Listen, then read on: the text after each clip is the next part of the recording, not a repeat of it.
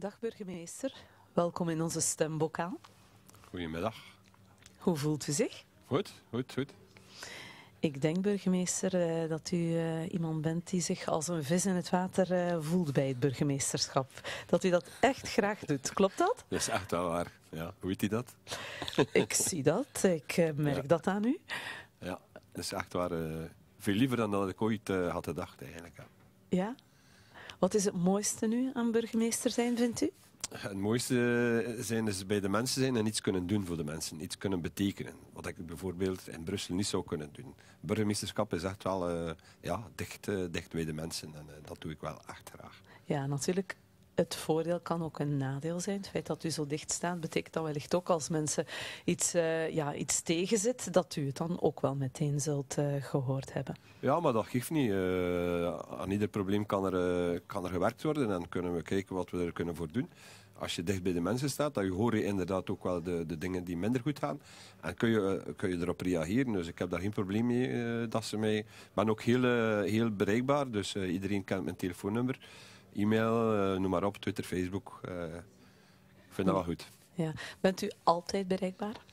Eh, ja, eigenlijk. Ik heb gisteren nog de test gedaan, kop op, met de, de app van... eh, gisteren op tv was dat ergens. Ik heb mij een keer getest.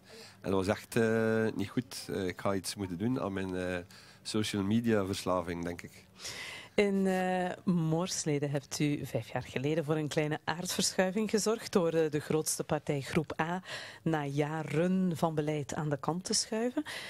Hoezeer speelt dat nog op vandaag? Krijgt u daar nog soms vragen of opmerkingen over of is dat allemaal verteerd ondertussen? Goh, dat is eh, grotendeels verteerd wel, want we hebben, ik heb eigenlijk meteen de stap genomen om die mensen te benaderen.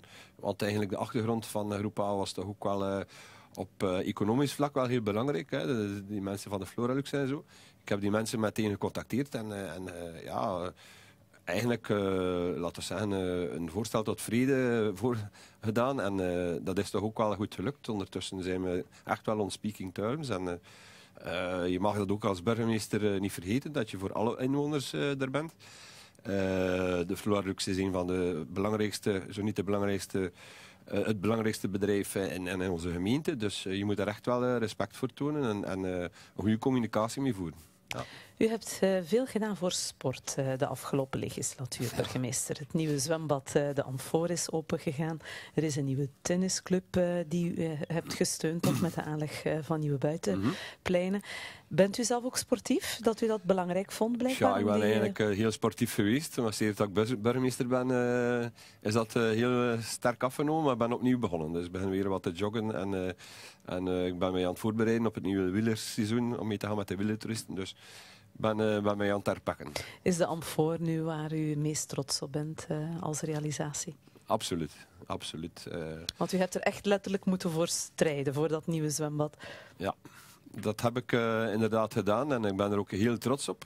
Maar het heeft eh, bloed, zweet en tranen gekost om het er te krijgen. Dus eh, in eerste instantie wat dat eh, financiële luik betrof. Dan ja, we moesten ook wel een ingreep doen, een zwembad sluiten in Dadenzee. Dat was ook niet zo eenvoudig. Maar we hebben daar eigenlijk allemaal met de school en zo goed over gecommuniceerd. En eigenlijk vrij, alles is vrij vlot verlopen. Ik ben er echt wel trots op, ja. Voor de atletiekclubs is er niets gebeurd eigenlijk. De twee clubs van Dadenzee vragen al jaren om een nieuwe piste. Maar u vindt geen grond. Is dat nu zo moeilijk, burgemeester? Grond vinden om een piste aan te leggen? Ja, wel, eh, grond om een atletiekpiste op te leggen, daar moet je voor recreatieve grond eh, vinden. De enige recreatieve grond die we nog ter beschikking hebben, is het Dadi-park. Eh, maar ik heb dat altijd beloofd dat ik grond zou zoeken. Ik hoop dat, nog altijd dat ik ze ga vinden. Maar het is niet zo eenvoudig. Als je landbouwgrond, een stuk landbouwgrond hebt waar dat je die piste zou willen opleggen, dan moet je de eerst die bestemming wijzen. Dus een hele procedure die daaraan vooraf gaat. Eh, het is niet zo eenvoudig om dat zomaar, eh, zomaar te zeggen van kijk, eh, het is daar een lapje grond, we gaan daar een piste op leggen. Maar uiteindelijk, ja, we zijn er mee bezig en ik hoop alsnog dat we voor de verkiezingen uh, op het einde van de legislatuur nog met een oplossing uh, kunnen afkomen. Ja, ook voor uh, voetbalclub VK Dadizee moet u nog een oplossing zoeken. Daar is onzekerheid ook groot, want de bouwvergunning die er was voor de nieuwe kleedkamers, de tribune, de kantine, die werd geweigerd. hoe ga je daar nu toch proberen voor te zorgen, burgemeester? Wel, we zijn, de gesprekken zijn nog bezig. We zijn bezig aan aan een oplossing te zoeken samen met de provincie, ook met, uh, met Vlaanderen. We zitten binnenkort samen en we gaan kijken uh, wat er mogelijk is. Uh, ze hebben niet volledig de deur dicht gedaan bij de deputatie en ook niet in Vlaanderen. Dus ze hebben wel de, de vergunning geweigerd, zoals dat nu voorlag. Maar wie weet, met een aanpassing van de, van de plannen, dat wij alsnog een duurzame oplossing kunnen bieden. De dorpskernen van uh, Moorsleden en ook van Sliepskapelle die hebben echt een metamorfose ondergaan uh, de afgelopen jaren. We hebben reacties gekregen van inwoners die heel blij zijn met de nieuwe markt ja. uh, in Moorsleden. Maar Ronnie die vraagt zich wel af of het doorgaand zwaarverkeer van Roeselare naar Ieper niet kan geweerd worden uit het centrum. Want Ronnie zou graag hebben dat de kasseien in het centrum mooi blijven. Ja, dat zou ik ook wel willen. En uh, ik zou, uh, wij doen uh, van alles. we nemen ja, allerhande maatregelen om het verkeer te mijden. Hè. We hebben in richting ingevoerd voor zwaar verkeer. Er is ook al een, een stop aan, aan met de grens met Roeselare, dus dat ze moeten omrijden als ze naar Rieper moeten, ook omgekeerd. Maar niet iedereen respecteert dat. Je moet ook, denken, ook weten dat we een zestal transportbedrijven hebben in Moorsleden, die dus ook van hun bedrijf naar buiten onze gemeente moeten kunnen rijden, ja, dan heb je wel wat, wat vrachtwagenverkeer. Uh, wij doen veel controles naar snelheid toe en zo. Uh, ja, je kunt er niet vanuit dat er toch altijd zal zwaar vervoer, en vooral landbouwvoertuigen ook, we zijn landelijke gemeente, dus uh, daar op, ook, ook die voertuigen moeten we toch, kunnen we de, het centrum niet, niet verbieden in te rijden. Als ze van de ene kant van de gemeente naar de andere kant moeten, dan... Ja. ja. Uit de reacties die wij binnenkregen blijkt dat uw inwoners vooral wakker liggen van verkeersveiligheid. Want Gerda die kaart aan dat de Stadendreven levensgevaarlijk is. Er wordt veel te snel gereden, zegt ze, en op het voetpad geparkeerd en allerhande zaken die eigenlijk niet kunnen. Ze vraagt waarom daar geen flitspaal kan komen.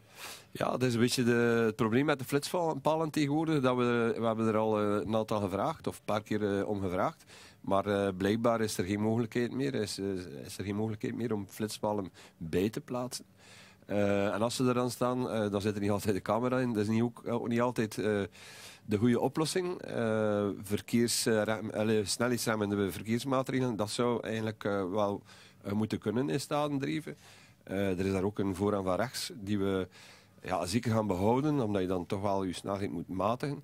Maar sowieso, uh, ik denk gelijk wat je van maatregelen, ik heb dat nu al ondervonden, in die voorbije vijf jaar, gelijk wat voor een maatregel treft. Er gaan altijd uh, mensen zijn die de wetten overtreden, die de verkeersregels uh, aan hun laars lappen. En, ja, maar allez, kan hen daar wel bijtreden in haar, in haar stelling. Hè. Mhm. Is dat niet een beetje onmoedeloos van te worden, worden ook soms burgemeester? Absoluut, absoluut. Ik heb het in het begin van uw, van uw vraagstelling al gezegd. Ik doe het heel graag, maar het is ook soms frustrerend. Dat je, je kunt niet voor iedereen uh, ja, goed doen en, en, en, niet alle problemen oplossen. Wat je wel moet doen, is er oor naar uh, hebben en, en, en, ja, proberen op te lossen. Maar ik kan geen, geen, niet garant staan dat alles uh, oplost wordt. zeker niet op 1, 2, 3. U hebt uh, al aangekondigd dat u weer lijsttrekker wordt voor Visie. Dus u zou maar wat graag terug burgemeester worden. Ik weet niet waar u dat gehoord heeft. Uh, ja, maar het is wel waar. Ik zou echt wel nog een keer een legislatuur bij, bij willen doen. Ja, met, met een sterke ploeg, waar we de gemeente nog naar een hoger niveau kunnen tillen. Ik heb die ambitie wel, inderdaad. Dan heb ik tot slot, burgemeester, nog een paar uh, stellingen voor u. Zinnetjes eigenlijk, die u mag aanvullen. Wilt u daarvoor alstublieft uh, plaatsnemen op de witte stip en omhoog kijken, recht in mijn ogen. Dan uh, mag u de volgende zinnen aanvullen. Ik luister altijd naar Radio 2, want... Dat doe ik niet. oh, dat is een eerlijk antwoord. Geïnterviewd worden is... Is leuk, spannend, maar leuk ik luister dan wel naar... Als u eh, niet luistert naar Radio 2, waar luistert ah, u dan wel naar? Naar Mijn rapporten waren? Oh, uh, met ups en downs. Ik ben het uh, minst tevreden over? Over het feit dat we dus eh, het voetbal en eh, de, uh, de atletiekpiste nog niet, dat we daar nog geen oplossing voor hebben. En het meest tevreden ben ik over? Dat had ik al gezegd van het zwembad uiteraard. Ja. En van mijn burgemeesterschap in, in algemeenheid. Als burgemeester moet je altijd... waakzaam zijn en bereikbaar zijn. Dit spel is... Leuk. Mijn lievelingssaus is... Uh, Bearnaise. Ik zou graag sorry zeggen tegen. Ga tegen mijn voorganger. Waarom? nee, het is een grapje hoor. Um, ja, nee. Met, tegen mijn echtgenote, omdat ik er niet altijd ben voor haar. Het vervelendste in mijn gemeente is? Niets. Als um, ik mijn lint aandoe, dan voel ik mij... Gelukkig. Ik eet graag. Uh, van alles. Ja, alles wat eetbaar is, uh, dat krijg ik wel binnen, meestal. Ja.